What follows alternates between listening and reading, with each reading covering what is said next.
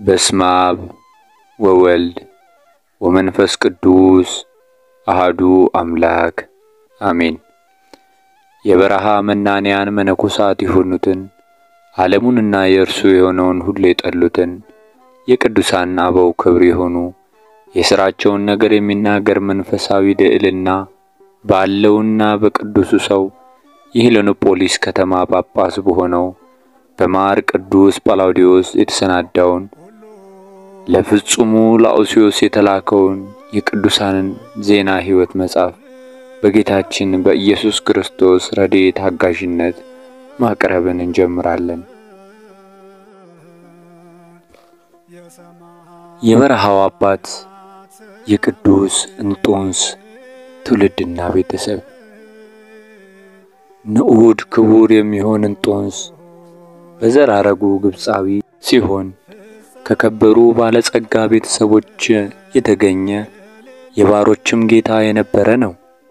ከቀደሙት አባቶቹ አማንያን ነበሩና እነርሱም ከልጅነቱ ጀምሮ ጌታችን እግዚአብሔርን በመፍራት ነው ያሳደጉት። በክርስትና ሕግም አሳደጉት። ልጅ ሆኖም በዘመዶቹ መካከል ሲያድግ ስለ አባቱና በዘመዶቹም ዘንድ ስለሚደረገው ነገር አያውቅም ነበር። በጠባዩም ዝምተኛና በልቡም በጣም ትሑት ነበርና ቤተሰቦቹን ጥያቄን በመጠየቅ አያስቸግራቸውም። እጅግም ጭምትና ከመጠን በላይ ታማኝ ነበረ። በትምህርት ቤት ካሉ ልጆችም መጥፎ ጠባያቸውን ሊወርስ ባለመቻሉ ምክንያት ማንበብና መጻፍን አይችልም። እርሱም በሕፃንነቱ ከትምህርት ቤት ሄደ። በሀገራቸው ቅዳሴ ለመስማት ለጸሎት እንጂ ፍጹም ትምህርት እጅግ አይማሩም ነበር። ለዛም ቶሎ መጣ። ሆኖም የእርሱ ፍላጎት ልክ እንደ ያዕቆብ ያዕቆብ ግን ጭምት ሰው ነበረ፣ በድንኳን የሚቀመጥ ነበረ እንዳለ በቅዱሱ መጽሐፍ ዘፍጥረት 25 ከቁጥር 27 ከቤተሰቦቹ ጋር በጣም የተወዳጀ ነበረ። ወደ ቤተ ክርስቲያንም በሚመጡ ጊዜ ከፍቅሩ የተነሳ ከፊታቸው እየቀደመ ይሮጣል። እንዲህ ያለውን የአገልግሎት ልማዱን በልጅነቱ ጨዋታዎች የሚያስታጉል ተርታ ሕፃንም አልነበረም። ስለሆነም የትኞቹንም የቤተ ክርስቲያን ጊዜያትን መከታተል ከቶ ቸል አይልም። እኒህንም በልጅነቱም ቸል አላላቸውም። በጎልማሳነቱም እንኳን ቢሆን ሕፃን ሳለም አንስቶ መልካምና ክፉ መለየትን ያውቃልና ወደ ቤተ ክርስቲያን የሚሄደው ልማድ ስለሆነበት አልነበረም፣ ከጥልቅ መረዳት የተነሳም ነበረ እንጂ። ከዚህም በላይ ደግሞ በሕይወቱና በምግባሩ ለእነርሱም መምህራቸው ሆኗል። ከቤተሰቡ መካከል በጎ ስራን ለመስራት እስከሚመክሩት ድረስ አይጠብቅም። በእነርሱ መካከል እንደ ተርታ ሕፃን እንደማይኖር በልጅነቱ ከነበረው ልምድ አስተውለዋልና በጉልምስናውም ያለውን ቅንነት ደግሞ እንዲሁ ፈጽሞ ካደገም በኋላ ክብርን ሰጥቷቸው እነርሱም ደግሞ እንደ ቤቱ መጋቢ አስተዳዳሪ አድርገው ያስቡታል።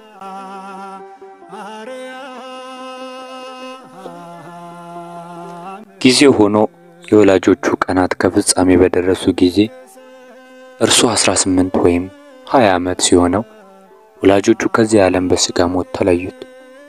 እርሱና ታናሽ እህቱን ብቻቸውን ቀሩ። በዚህ ምክንያት ቤቱን መምራትና ታናሽ እህቱን መንከባከብ ግድ ሆነበት። ወላጆቹ ካረፉ ስድስት ወር እንኳን ሳይሆን እንደ ልማዱ ያለማቋረጥ በቤተ ክርስቲያን በሚገኝ ጊዜ በአንዱም ዕለት እንዲህ ሆነ። በቤተ ክርስቲያን ውስጥ ሳለ የጽድቅ ሐሳብ በልቦናው ገባ።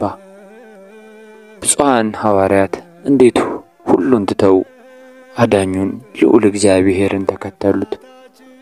ከእርሱም በኋላ የመጡትና የእርሱን አሰረ ፍኖት የተከተሉትም ደግሞ ያላቸውን ሁሉ እንደሸጡና ለድሃ እንዲከፋፈል ያገኙትንም ገንዘብ ከሐዋርያቱ እግር ስር እንደጣሉ እንዲሁም ባለው መንገድ ደግሞ የቤዛችን ቃል የታዘዙ ሰዎችን ክብራቸውና ቅድስናቸው እንዲሁም በረከታቸው ምንኛ ታላቅ እንደሆነ በውስጡ በማሰላሰል መመሰጥን ጀመረ። በእነዚህና እኒህም በመሰሉ ነገሮች ተመስጦ ሳለ ትምህርቱ በሚሰጥበትም ጊዜ ቅዱስ ወንጌል ተነበበ። እርሱም ለሀብታሙ ሰው የተናገረውን የጌታችን የመድኃኒታችን የኢየሱስ ክርስቶስን ቃል ሲነበብ አደመጠ። ፍጹም ልትሆን ብትወድ ሂድና ያለህን ሸጠ ለድሆች ስጥ፣ መስቀልንም ተሸክመ መጥተህም ተከተለኝ አለው። መዝገብም በሰማያት ታገኛለህ። የማቴዎስ ወንጌል ምዕራፍ 19 ከቁጥር 21። ብፁዕ እንጦንስም ይህንን የወንጌል ቃል ለራሱ ልክ እንደ መልእክት ተቀበለው። ይህም ምንባብ በእርሱ ልቦና የተፈጠረውን የጽድቅ ሐሳብ ለማጽናት ሲባል እንደ ተገለጠ አሰበው እንጂ እንዲሁ በአጋጣሚ የተከሰተ አድርጎ አላሰበውም። ወዲያውም ከቤተ ክርስቲያን ወጥቶ ሄደና ቤቱንና ሌሎቹም ንብረቶቹን ከቤተሰቡ የወረሳቸውንም ሁሉንም በአግባቡ አሰናዳ። ብዙ ምርትም ይሰጡ የነበሩ ሦስት መቶ የእርሻ መሬቶች ነበሩት። እኒህንም ደግሞ እርሱንና እህቱን እንዳይጣሏቸው በማሰብ ለቀዩ ሰዎች ሰጣቸው። የተቀሩትን በቤት ያሉትን ንብረቶቹን ግን ሸጣቸውና ለእህቱ መሻት ከሚበቃ ያህል ብቻ በቀር ምንም ምን ከገንዘቡ ሳያስቀር ለድሆች አከፋፈለ።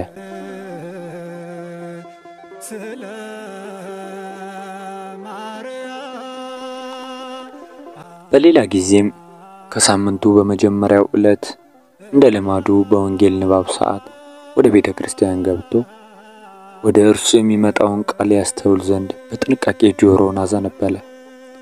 ጆሮንም ባዘነበለ ጊዜ ጌታችን ለደቀ መዛሙርቱ እንዲል ሲል የተናገረውን ቃል ተነበበ።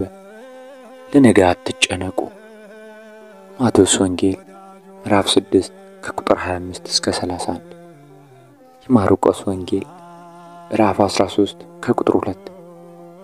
ሉቃስ ወንጌል ምዕራፍ 12 ከቁጥር 2። ይህንን ሰምቶ መታገስ አልቻለም። ወዲያውኑ ትእዛዙን እሺ በእጄ ብሎ ተቀብሎ ወጣና ለእህቱ ጥቅም ያስቀረውን ሁሉ አውጥቶ ለድሆች አከፋፈለው። ለእህቱም ስለ ፍቅር፣ ስለ እውነት እና እግዚአብሔርን ስለ መፍራት ነገራትና የእርሷንም ልቦና እንደ እርሱ ያለው አደረገው። ከዚያውም በወቅቱ በዚያ አካባቢ ይኖሩ ለነበሩ ንጹሐን ደናግላን ሰጣት። የእኔንም ጉዳዮች ነገር ከፈጸመ በኋላ ወዲያውኑ ወደ ቤት ገብቶ ራሱን በትሕርምት እየተፈተነ ትዕግስትንም የሚማር ባህታዊ መነኩሴ ሆነ። ከነፍሱም በቀር ለማንምና ለምንም አልተጨነቀም።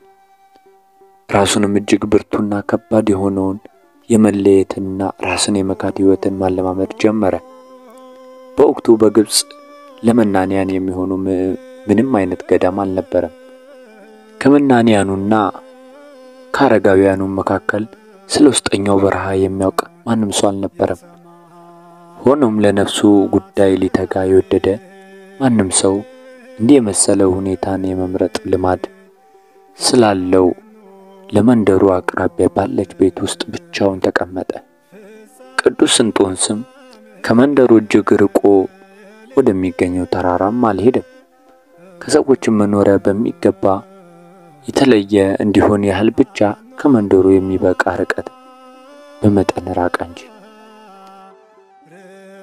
በዚያም ወቅት በእነርሱ መንደር ዳርቻዎች ባለው በሌላ መንደር ከወጣትነቱ አንስቶ የብቸኝነትን ምናኔን ሲኖር የነበረ አንድ ጻድቅ አረጋዊ ነበረ።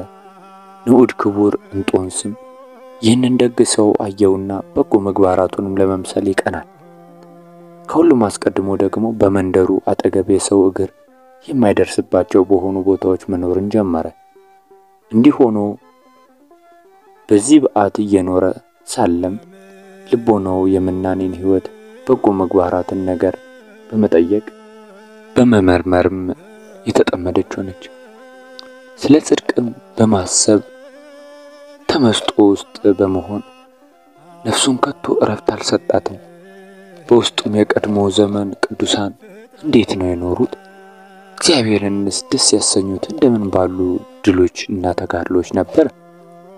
እኒህንስ እንዳያቸው እንኳን ደግሞ የተገባኝ የሚያደርገኝ ማን ነው እያለ ያወጣ ያወርድ ነበር። ለጻድቃኑም ካለው ፍቅር ጽናት የተነሳ በሆነው በዚህ ተመስጦ ውስጥ ምክንያት መጠየቅና መመርመርን ጀመረ። የጻድቃኑ ሁኔታቸው እንደምን ያለ ነበረ? የእነርሱንስ ነገር ማን ይግለጥልኝ? እያለ በዚያ ቦታ ይኖሩ ስለነበሩ ጻድቃን ስለ አንዳቸውስ እንኳን አንዳች ነገር እንዲማር ተስፋ በማድረግ ጥያቄዎችን እየጠየቀ እየመረመረም ከፍቅሩ ጽናት የተነሳ አረጋዊውን ለመፈለግ በኃይሉ ሁሉ ተጓዘ። የእግዚአብሔር ሰው ለሆነ ለዚህ አረጋዊ ክብርን ሳይሰጥ ወደ በዓቱ ቀድሞ አይመለስም። እርሱም ልክ መኖሪያዋን የምድር መልካም ነገሮች በሆኑት ሁሉ ትመላ ዘንድ በማሰብ በማረ በተሞሉ በሁሉም አይነት ጽጌያት አበቦች ላይ እንደምታንዣብብና እንደምታርፍ ጠቢብ ነቢይ መሰላል ነበረ። በዚህም ሁኔታ ደግሞ ከጻድቃኑ ከእያንዳንዳቸው አሰረ ፍኖት ለአስደናቂው ጎዳና የሚሆነውን ስንቅ ወስዷል። በመናኔ ሕይወቱም ጅማሬ ላይ የነበረው ሁኔታ እንዲህ ይመስል ነበረ። በምንም በምን መንገድ ስለ ቤተሰቦቹ እንዳይጓጓ ወይም በአፍቅሮ አዝማድም እንዳይታሰር አሊያም በዚያ ጊዜያዊ ኃላፊ በሆኑ የሕይወት ጎዳናዎች እንዳይጠመድ በቅድስና ሕይወቱ ውስጥ ሐሳቦቹ እጅግ በሚገባ የተገጸጹ ነበሩ። ይልቁንም ደግሞ ለእግዚአብሔር ንጹሕ መባ ይሆን ዘንድ ራሱን ንጹሕ አደረገ። ያልሰራ ሰው ከቶ አይብላ የሚለውን ቃል በመስማቱም በእጆቹ ስራ ይሰራ ነበር። ከእጆቹ ስራም ከሚገኘው ዋጋ ለራሱ ምግብ የሚሆነውን እጅግ ጥቂት ይጠቀምና የቀረውን ደግሞ ለድሆች ለምስኪናንም ይሰጠዋል። ደግሞም እንዲሁ ሳታቋርጡ ጸልዩ የሚለውን ቃላት ሰምቷልና አዘውትሮ ይጸልያል። የመጽሐፍ ቅዱስን ምንባብን በቸልታ ያይደለ አንዲት ቃልስ እንኳን መሬት እንዳትወድቅ እንዲህ ባለ መንገድ የማዳመጥ ልማድ ነበረው። ከዚያም አንስቶ ያዳመጣቸውን የሕግጋቱ መልእክታት በልቦና ያኖራቸዋል። እኒህም ደግሞ ልክ እንደ መጽሐፍ ቅዱስ ሆነውለታል። ልክ በመጽሐፍ በእግዚአብሔርና በሰው ዘንድ ሞገስ አገኘ እንዳለ የሉቃስ ወንጌል ሁለት ተብሎ እንደተጻፈው ንዑድ ክቡር እንጦንስም እንዲህ ባሉት ምግባራቱና ተጋድሎ ለነፍሱ ያለውን ጽኑ ፍቅር ይገልጥ ነበር። ሊጎበኛቸው ወደ ጻድቃኑ በሄደም ጊዜ በነቂው ሆኖ በትጋት ያደምጣቸዋል። በሁሉም ነገር ደግሞ ይታዘዛቸዋል። በዚህም የተነሳ እነርሱም እርሱን ይወዱበት የነበረው ፍቅር እንዲህ ያለ ነው። እነርሱን ከመጎብኘትም የዘገየ እንደሆነ በመጨነቅ መልእክተኛ የመላክ ልማድ አላቸው። ቅዱስ ስንጦንስም እንደምን ያለ ታላቅ ሁኔታ የእግዚአብሔር የምሕረቱ መገለጫ ዕቃ እንደሆነ እና በእርሱም ውስጥ ይገኝ የነበረው ለመንፈሳዊ ነገሮች ያለው ፍቅር እንዴት ታላቅ መጠን ያለው እንደሆነ ተመልክተዋል። በሰማያዊ ሀብታትም በመመላለስ ሰማያዊ እሴትን ማግኘት ለእርሱ እንዴት ቀሊል እንደሆነም አይተዋል። ስለዚህም እያንዳንዳቸው እንደ ብርታቱ መጠን በእጆቹ ያዙት፣ ተመለከቱትም እና ልክ እንደ ምርጥ ዕቃ ይሆን ዘንድ እንዳለው አዩ። እርሱም እንኳን ገና ባላየው ጊዜ ደግሞ በጻድቃኑ መካከል ገናና የሆነ ጽድቅ የሕይወት ሥርዓትን ለራሱ እንደተቀበለ ተመለከቱ። ሞገስ በውስጡ የማይገኝበት እንደምን ያለ ደስታ አለ! ወይንስ ገንዘባቸው ላደረጉት ያስጌጣቸው ዘንድ በእርሱ ዘንድ ምንም የሌለውን የሆነ እንደምን ያለ ትሕትና ነው! አልያስ ደግሞ የትእዛዛቱ ሁሉ መሰረት ሆኖ ሳለ ሊሰለጥን ገዢ ሊሆን ከቶ የማይችል ምን አይነት ፍቅር ነው! እንዲሁ ሁሉ ደግሞ መሐሪ ይሆንስ ዘንድ ራሱን እያሰበ ሳለ በዚያው በዚያ ሐሳቡ የማይወሰድና በቁጣ በምቀኝነትና በስድብ ላይ ስሉጥ የማይሆንባቸው የማይገዛቸውስ ምን ሰው ነው? ንዑድ ክቡር የሚሆን እንጦንስ የጾምና የጸሎት የምናኔ ምግባራትንና የጽኑ ትዕግስት የፍቅር የእነዚህን ሁሉ ደግሞ እናት ለሆነችው ለጽድቅ ግምጃ ቤቷ ነው። ስለሆነም እርሱ ወጣት መነኮሳት በሆኑት ላይ በአንድ ነገር ካልሆነ በቀር ይኸውም ማለት በመልካም ምግባራት ከማናቸውም ያነሰ እንዳይሆን ካልሆነ በቀር በማንም የሚቀና አልነበረም። ክፉውንም ሰው ደግሞ በየትኛውም ሁኔታ እንዳያስከፉት ይጠነቀቃል። በተቃራኒው ግን ከእርሱ ጋር አብረው ጽሙዳን የሆኑት ሁሉ ደግሞ በምናኔው እንደ በምናኔውና በደግነቱ ወደ እርሱ ሐሳብ ወይም ልቦና እንዲሳቡና በሕይወታቸውም እንደ እርሱ እንዲያድጉ ተምኔቱ ነው። ዳግመኛም በቁኤት ያላቸውን ምግባራት ሲሰራ እርሱም በከንቱ የሚቀኑበት እንዳይሆኑበትም ብቻ ሳይሆን እጅጉኑ በእርሱ ደስ እስኪሰኙበትና እስኪያመሰግኑትም ድረስ እንዲህ ባለው ሁኔታ ተግባሩን መከናወንን ልማዱ አደረገ። በእኒህን ድሎቹም ምክንያት ሁሉም ሰው ቴዎፍሎስ እያሉ ይጠሩት ነበረ። ይኸውም ማለት ትርጓሜው መፍቀሬ እግዚአብሔር ነው። ጻድቃኑም ሁላቸው ይህንን ስያሜ ሰጡት። አንዳንዶቹ እንደ ወንድማቸው፣ አንዳንዶቹ ደግሞ ልክ እንደ ልጃቸው ይወዱት ነበር።